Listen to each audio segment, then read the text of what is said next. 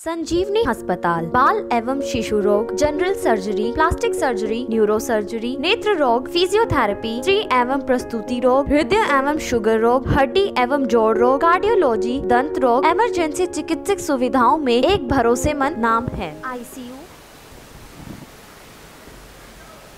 आम आदमी पार्टी सत्ता का सुख भोगने के लिए नहीं आई। और इसलिए आम आदमी पार्टी के अंदर सिर्फ़ और सिर्फ़ व्यवस्था बदलने की लड़ाई लड़ी जाती है। ये जो बसंती रंग का सम्मान मुझे अभी दिया गया है, ये शहीद आज़म भगत सिंह का रंग है। लाखों वीरों ने शहादत दी थी कि मुस्कुराता हुआ हिंदुस्तान होगा, शिक्षित हिंदुस्तान होगा विकसित हिंदुस्तान होगा, बारोजगार हिंदुस्तान होगा हंसता हुआ किसान होगा। कदम के से कदम मिला के चलती हुई बहनें होंगी। परंतु पचहत्तर साल के अंदर ना किसान तरक्की कर पाया, ना स्कूल, ना हॉस्पिटल, ना बिजली, ना पानी, ना रोज़गार। मैं आप सबसे पूछता हूँ जिन सरकारी स्कूलों के अंदर आपके बच्चे पढ़ रहे हैं, क्या आपको लगता है वो आपके काबिल हैं? वो अच्छे स्कूल हैं? ऐसा किसी के मन के अंदर बात है? राजनेताओं ने मिलकर दुकानें खुलवा दी प्राइवेट स्कूलों की और सरकारी स्कूलों की हालत बद से बदतर कर दी। जान बचाने के लिए जो हॉस्पिटल होने चाहिए, जो डिस्पेंसरी होनी चाहिए। या तो डिस्पेंसरी और हॉस्पिटल है ही नहीं, है तो डॉक्टर नहीं है, डॉक्टर है तो मेडिसिन नहीं है। और ये व्यवस्था हरियाणा सहित पूरे देश के अंदर ये हालात बना के रखे हुए ना 24 घंटे बिजली मिलती है, ना पानी मिलता है। हरियाणा जैसे प्रदेश के अंदर 34 परसेंट बेरोजगारी है। ये भारत सरकार के आंकड़े मेरे आंकड़े नहीं है। यानी कि हरियाणा में 18 वर्ष से लेकर 60 वर्ष तक की आयु का हर तीसरा व्यक्ति बेरोजगार है। अगर मैं 18 से 28 वर्ष के युवक की बात करता हूँ तो 80 परसेंट युवक बेरोजगार है। हरियाणा पब्लिक सर्विस कमीशन के खट्टर साहब की सरकार के दौरान 25 बार पेपर लीक हुए।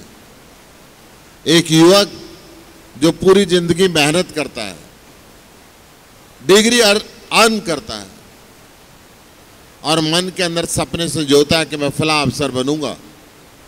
पेपर लीक होने की वजह से वो ओवर एज हो जाता है। किस ट्रॉमा से वो व्यक्ति गुजरता है, वो खुद वो बच्चा नौजवान जानता है या उसके माँ बाप जानते हैं? हरियाणा के अंदर बेरोजगारी बढ़ने की वजह से युवक या तो नशे के रास्ते पे चल पड़ा है, या अपराध के रास्ते पे चल पड़ा है, या डिप्रेशन का शिकार हो रहा इन व्यवस्थाओं को बदलने की ज़रूरत है। दिल्ली के अंदर आम आदमी पार्टी की सरकार आई भारत सरकार शिक्षा पे पौने तीन परसेंट पैसे खर्चती है। दिल्ली सरकार ने 26 परसेंट खर्च करना शुरू किया। जो भीमराव बाबा साहब अंबेडकर का एक सपना था कि हिंदुस्तान शिक्षित होगा तो हिंदुस्तान विकसित होगा। जिन्होंने कहा था, हर बच्चे को शिक्षा लेना चाहिए। उस सपने को पूरा करने का काम आम आदमी पार्टी के राष्ट्रीय संयोजक अरविंद केजरीवाल जी ने किया। अच्छे हॉस्पिटल बनाए, कानून बनाया कि दिल्ली की सड़क पे हिंदुस्तान से कोई भी व्यक्ति आए, भगवान ना करे एक्सीडेंट हो जाए। एक रुपया लगो, सौ करोड़ रुपए लगो, सारा खर्चा दिल्ली सरकार देती है।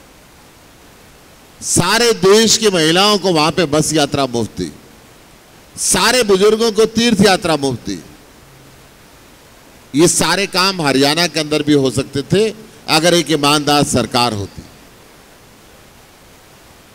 यहाँ का तो मुख्यमंत्री इस प्रदेश के किसानों को आतंकवादी कहता है। इनकी जड़ें चीन में और पाकिस्तान के अंदर बताता है। जिस जिस नगर निगम की मैं बात करूँ, घोटालों पे घोटाले हैं। सिरसा के अंदर एक सौ बावन दिन आम आदमी पार्टी के जिला अध्यक्ष लगातार धरने के ऊपर बैठे कि 80 करोड़ रुपए सौंदर्यकरण के आए थे, कहाँ गए? क्यों कांडा साहब के चुनाव के अंदर लगा दिए गए? क्यों नहीं सिरसा के लोगों को पता चलता? अभी फरीदाबाद के अंदर 200 करोड़ रुपए का काम हुआ ही नहीं, पेपरों के अंदर हुआ और पेपरों में पेमेंट कर दी। आम आदमी पार्टी ने लगातार उसका विरोध किया तो ठेकेदार को गिरफ़्तार किया। फिर हमने विरोध किया कि चूड़ियाँ पहन लो। तुम अगर इसके अंदर मिले हुए अधिकारियों को और राजनेताओं को जिन्होंने माल खाया है, उनको जेल के पीछे नहीं पहुँचा सकते तो इसका मतलब माल मुख्यमंत्री के घर पे गया। तो एक चीफ इंजीनियर को गिरफ़्तार किया।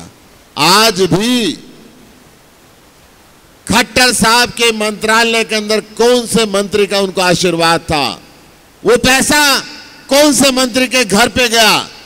आज तक उस बात का खुलासा ये नहीं कर पा रहे। यूपीएससी के अफसरों पर जब हरियाणा प्रदेश पब्लिक सर्विस कमीशन के अफसरों के ऊपर जब रेड होती है, चैट विधानसभा में गूंजती है कि पाँच करोड़ रुपए मुख्यमंत्री कार्यालय के अंदर गए।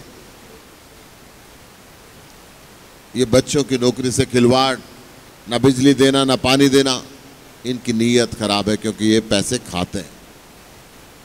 आम आदमी पार्टी राजा के बेटे को राजा नहीं बनाती। आम आदमी पार्टी हम सब के बीच में से एक मोबाइल की दुकान पे काम करने वाले मैकेनिक से पंजाब का मुख्यमंत्री हरवाती है। एक ढाबे वाले से चंडीगढ़ के मेयर को हरवाती है। एक ऑटो रिक्शा ड्राइवर वाले से बड़े बड़े मंत्रियों को हरवाती है। बाबा साहब के संविधान को सही मायने में अरविंद केजरीवाल ने पालन किया। कि अब पचहत्तर साल बीत गए, ये छोड़ दो कि मंत्री का बेटा मंत्री बनेगा, विधायक का बेटा विधायक बनेगा। एक ही खानदान को मुख्यमंत्री भी चाहिए, एक ही खानदान को संतरी भी चाहिए, एक ही खानदान को विधायक भी चाहिए और सांसद भी चाहिए। ये सब जनता के बीच के अंदर होना चाहिए। और इस सोच को लेके अब चाहते हैं लोग हरियाणा में भी केजरीवाल। उनतीस मई को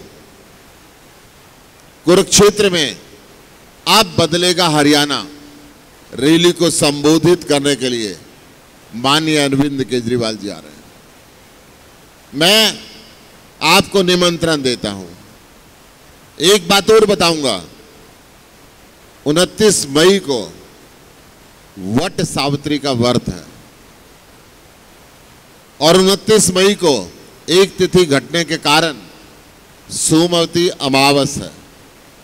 आप ब्रह्म सरोवर के तट पे जाएँगे तो सत्रह गुना फल मिलता है। वहाँ पे हम हरियाणा को बदलने की बात करेंगे, अरविंद केजरीवाल जी को सुनेंगे, कैसे हरियाणा में बेहतर रोज़गार मिले, कैसे किसान का सम्मान हो, कैसे अच्छे हॉस्पिटल बने, कैसे 24 घंटे बिजली पानी मिले, कैसे अच्छे स्कूल बने। और उसके साथ साथ आप परिवार के साथ वहाँ पर आए।